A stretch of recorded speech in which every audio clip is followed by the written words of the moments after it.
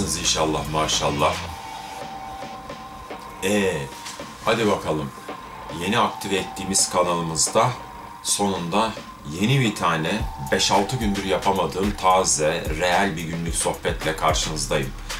Saat 18.14 5 Mart 2020'deyiz. Yani günü gününe size günlük süt gibi şu an bir video yetiştiriyorum. Aşağıda da bir yandan Adıyaman Cuara sarıyorum. Kusuruma bakmayın yani şöyle şöyle.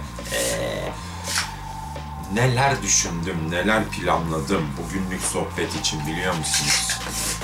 Yani bundan 3 gün önce en azından notlarımı almıştım. Çünkü kafamda çok şey var. E var dedim birkaç konuyu not alayım. Sohbete onları böyle güzel güzel anlatırım demiştim. Bunu yaptım. Bunu yaptım. Bunu yaptım. Hatta bayağı dört tane falan çok önemli konu not aldım. Ay, ama gel gör ki bütün planlamalar her zaman planladığın gibi gitmiyor kardeşim. Hayata geçmiyor. Kader rüzgarları diyelim veya zamanın döngüsü diyelim senin planladığın yönde esmeyebiliyor. Yani dönmeyebiliyor. Eee hatta şunu planlamıştım be dostlarım bir tane intro planlamıştım. Kafada yani düşünüyorum. Hani gelince ona göre çat diye canlı zaten. Doğaçlama ben gene çekiyorum. Sonra biraz editliyorum tabii ki biraz zamanlama, saniyeleme de düzgün olsun diye. Yani şöyle kickbox vuruşlu biraz hani herkese kafa açan etki yapan türden şöyle, şöyle duvarlara vururken bir antrenman falan böyle havlu havlusuz çıplak yumruklarla falan öyle bir intro düşünmüştüm. Sert yapalım ki biraz açılalım diye. Hani zihinleriniz açılsın diye. Olmadı abi. Gerçekten olmadı. Bazen olmuyor. Buradan da şöyle bir şey söyleyeceğim. Bir ders çıkaracağım bazılarına. Hani güç bende. Her şey benim. Ben istersem olur. Kaderimi, hayatımı ben şekillendiririm. Seçimlerimi ben yaparım. Tamam seçimleri sen yaparsın ama ne diyeceksiniz kardeşim şimdi buna? Kendini Voltron zannedenler. Ha kendine böyle hani ben tanrıyım diyenler. Ya tamam kardeşim sen hani Tanrı'nın ışığından bir parçasın ama kusura bakmayın ama Hani Yüce Rabbimizin sıçtığı boku aşamazsın yani. Onun bir toz zerresini aşamazsın. Herkes haddini bilecek diyenlerdenim. Neymiş kadere inanmazmış gönderi hadi ya.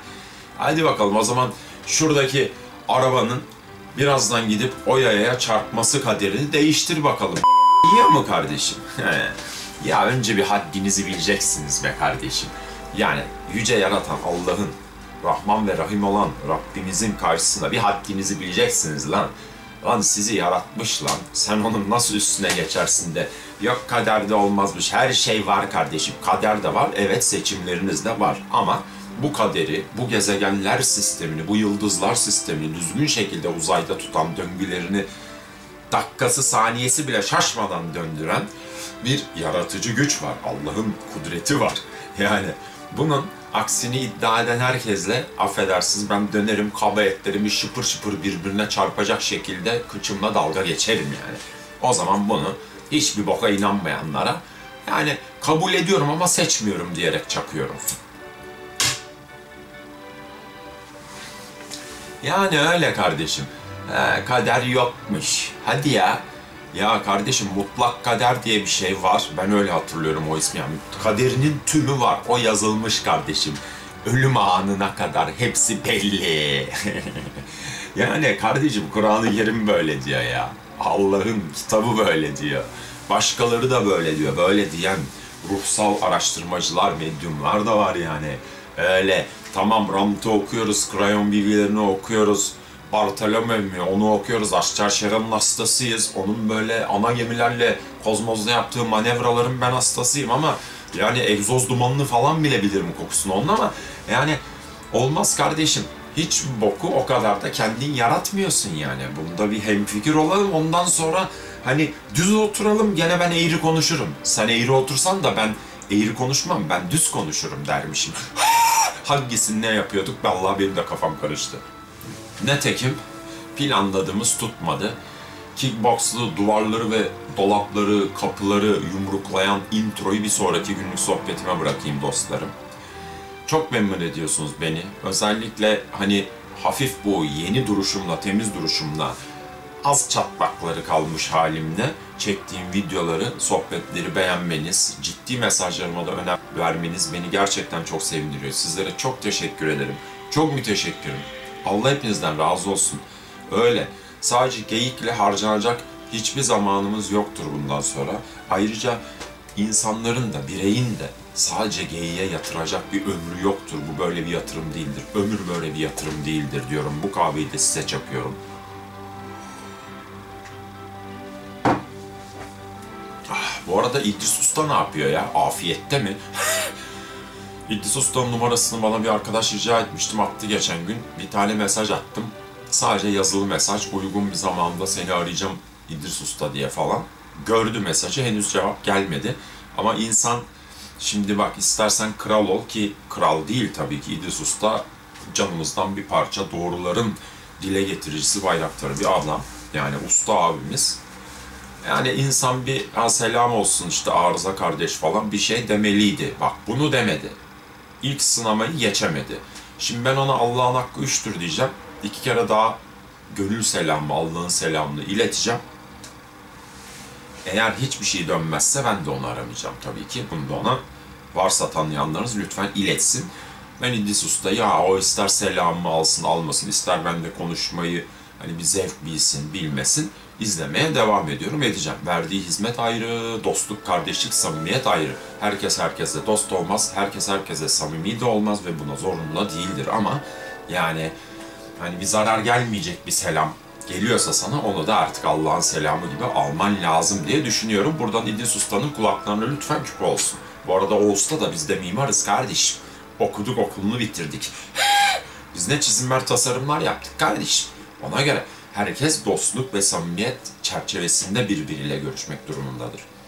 Vallahi notlarımı aldığım küçük defterim var ona bile bakmadım ha. Ay hiç halim yok. Bir sonraki sohbete oradaki güzel konularımızı işleriz. Ben çünkü daha hayata yeni döndüm. Eşimle birlikte üç gün üst üste sabahtan erkenden çıkıp akşama eve dönmeli bir Alsancak ziyareti şeklinde hediyeleşmemiz oldu. Access Bars yani Access Consciousness hediyeleşmesi oldu. Herkes birbirine şey diyor, birbirini parmaklıyor, kurcalıyor falan kafasında 32 noktasından. Herkes birbirine enerji veriyor. Bir sen veriyorsun, bir sen alıyorsun. Yani alma verme dengesi dahilinde. Üç gün öyle geçti. Abi her gün 11.30'da akşam eve geliyorsun, yoruluyorsun. Alıyorsun pansumanını yatıyorsun. Ertesi gün bir daha kalkıyorsun. O üç gün bitti. Ondan sonra da sevgili Duru Sevil Kavlan hocamızla Akses CF hocamızla yani ve çok şirin, çok yani baş edilemez bir enerji, bir hanım enerji kadınla e, foundation eğitimi aldık. Ben de artık bir merhale daha yükseldim Access Consciousness platformunda hayırlısıyla ondan el aldım. Dört günde o sürdü. Sabah 10.30-11 gibi başlıyor. Yani evden çıkıyorsun 8.30-9'da. 11 gibi işte önce çaylar maylar içiliyor, haldır uldur giriyorsun bütün gün abi. Bütün gün 8'lere kadar falan sürüyor akşam. Ondan sonra eve dönüyorsun 12'ye doğru. Topla 7 gün etti. Bir gün ondan sonra dayanamadım. Kızımı özlemiştim. Eğitimden dolayı kızımı falan bir hafta görememiştim. Bir günde kızımı ayırdım. Onunla dışarı çıktım. Yetmedi. Ertesi gün enişteyle dışarı çıktım. Yani toplam 9 gün her gün dışarı çıkan bir arıza adam. Ve dün de bizim evde yine bir biyoenerjici, usta bir biyoenerjici dostumuz vardı. Biz ona aksesi öğrettik. O bize biyoenerjisinden hediye etti falan. Böyle şeyler yaşadık kardeşim. Yani kendimle fazla kalamamanın verdiği depresif bir yorgunluktayım. Ciddiyim lan. Şu sol tarafım falan ara ara böyle ağrır sızlar gibi oldu da derin nefes alarak kendi kendime enerji yollayarak geçirdim. E tabi biyoenerji dostumuz da yani bir el attı o da ayrı mesele. Ona da buradan sonsuz şükranlar, teşekkürler Aysun Hanım'a. Kısacası dostlarım. Yani onun için not defterini şu sol tarafta aşağıda duran çantanın fermuarını açıp alacak kadar bile bir yani motivasyonum yok şu an. Burada böyle fazla eğilip bükülmeden konuşmayı tercih ediyorum. Ay bu anlamda beni biraz mazur görün. Öyle abi. Ben derin nefes alıyorum. Odanın kapısını bile kilitledim lan. Kimse benim artık bir 5-6 gün sonra çekmeyi başardığım şu günlük sohbetleri bölemesin diye evdeki hiçbir benden başka varoluş birimi gelip de benim alanıma giremesin diye kapıyı kilitledim lan. Harbi kilitledim ha.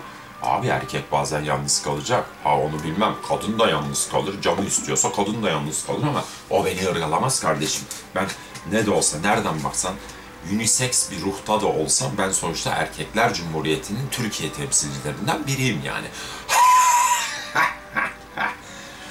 Durun şurada saralım da. Özlemişim. Yani size seslenmeyi, size sekslenmeyi, size karşı böyle eğilip donalıp bükülüp sekslenmeyi özlemişim be kardeşim. Ah ne güzel değil mi aramızda? Böyle dostane bir muhabbet var. Bazen öğüt veriyor gibi oluyorum. O zaman bir abi, hatta kimilerinize baba gibi falan oluyorum. Bazılarınıza reis oluyorum ama ya hepsini bırak. Yaşlar maçlar bunlar illüzyon kardeşim. Ben hepinizin dostuyum lan. Benim 16 yaşında kankim var. Gerçi bunu anlata anlata adam yakında 20 yaşında olacak. Ondan sonra diyeceğim ki benim 20 yaşında kankim var diyeceğim. Afrail Gök'e buradan selam olsun. Bak öteki şimdi daha ondan biraz daha büyük bir genç kankim daha var İstanbul'da yaşıyor. Emir Şahin. Buradan Emir Şahin'e de selam olsun. Bunlar iki genç kanki alınabilirler bunlar. Aman. Ondan sonra birbirlerine dis videoları çekmesinler. Hadi bakalım bunu Afra ile Emir'e çakıyoruz.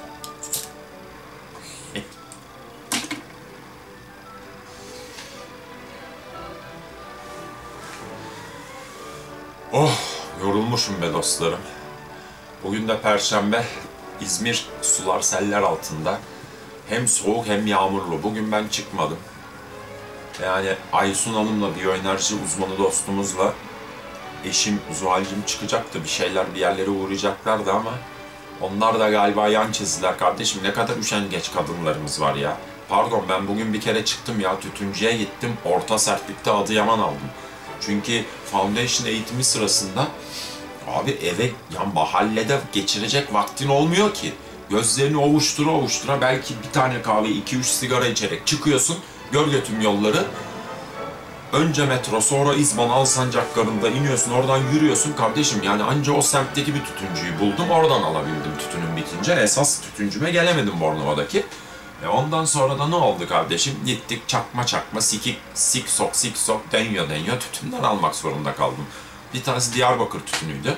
Çok kaliteliydi. Kilosu 150 liraydı ama bana yumuşaktı abi. Bakmayın böyle tertemiz böyle kibarcık böyle kibar temiz elit adam gibi durduğuma. Ben yerine göre gerçekten çok hardcore bir adamım. Asker kişilikli bir adamım kardeşim. Bir yere gideceğim dedim mi saatinde giderim. Ya koşa koşa bile giderim yani. O derece hassas sertliği olan bir adamım. E öyle olunca ne oldu? Gittik onu aldık. Abi pahalı, bak pahalılığını bıraktım. içiyorum tatmin olmuyorum abi. Varla yok arası bir şey. Anlamadığım şey bu tütünler yani pahalı ve süper içimli. Elit oldukça yani kendi varlığını hiç hissettiremeyecek şekle mi giriyorlar ya? O kadar ben tütünü hissetmeyeceksem, ağzımı, yutağımı, bademciklerimi biraz böyle ağır yoklamayacaksa ben o tütünü ne yapayım? İsterse 200 liralık tütün olsun. Allah Allah. Ben denedim. Adıyaman'ın orta içimlisinin 110 ile 120 lira arasında olan türü tam benim olayım abi. İçeride de yemek yiyorlar. Bak bir sürü köfte möfte kızarttılar. Piliç köfte, acılı köfte, normal köfte, kasap köftesi falan.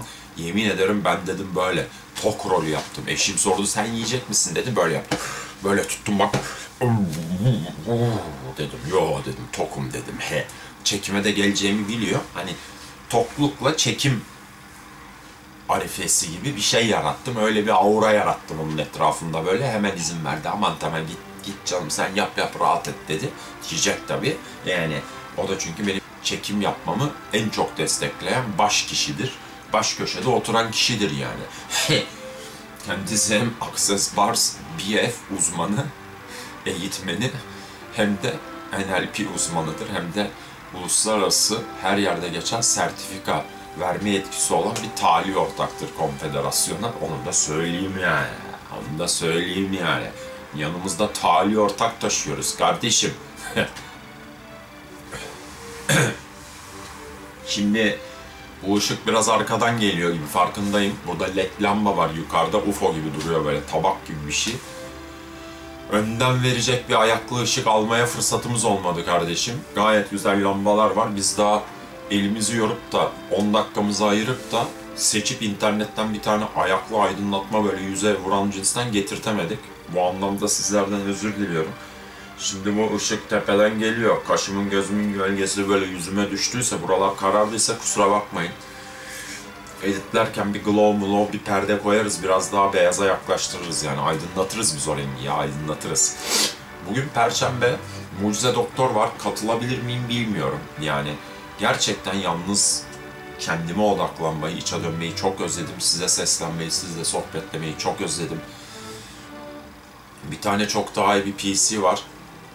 3 haftadır falan kenarda bekliyor. Onu takarsak donanımı YouTube'da canlı yayın yapmaya uygun bir bilgisayar. Öyle olduğunu düşünüyorum. Olmadı takviyelendiririz ama inşallah yani bir kıçımı kımıldatıp bir üşenmeyip elimi de oynatırsam o PC'yi takacağım. Ondan sonra direkt canlı. Artık iki gününde bir mi? Her gün mü? Durumu yayının akışına göre bakarız kardeşim. Hep canlı yayın yapacağım YouTube'dan yani. Ya ben çok seviniyorum. Herhalde bu sevincim size de geçecektir. Teşekkür ediyorum. Benim ciddi içeriklerimi de beğeniyorsunuz. Oradan kendinize güzel güzel anlamlar, manalar çıkartıyorsunuz. Teşekkür ederim. Sizi rahatlattığımı söylediğiniz için de çok sağ olun. Ben de zaten sizlerle sohbetleyince bu şekilde söyleşince rahatlıyorum. İnşallah YouTube canlı yayınlarımızda kanaldan direkt yapacağız. Hep birlikte rahatlarız. Siz sorarsınız ben söylerim. Siz sorarsınız ben söylerim. Hem size sevgimi, hem sesimi, hem seksimi veririm kardeşim. Yani durum bu. Harbi çok yorgunum. Hadi. Görüşürüz. Herkese güzel bir perşembe akşamı diliyorum. Mucize Doktor'u izler miyim bilmiyorum. Tekrar söyleyeyim yani. Bu arada eskilerden yayına aldığım videolar da antika değeri taşır kardeşim. Her şeyi bakın ciddiyete bağlamayın. İlle benim o sakin ve olgun mesajlar vermekte olduğum videolarıma kafayı takmayın. İlle onlardan hoşlanmayın. Hayat ne sadece bir geyik ne sadece bir ciddiyettir diyorum. Ara sıra ben cıvıtacağım. Benimle birlikte cıvıtın. O enerjiyi de benden alın. Çünkü yakında 50 yaşında olduğunda, 50 yaşında olduğunuzda diğer o fosiller gibi siz de moruklaşmayın. Benim gibi kalmak için eğlenmeyi de bilin. Sizi öpüyorum gıgılarınızdan.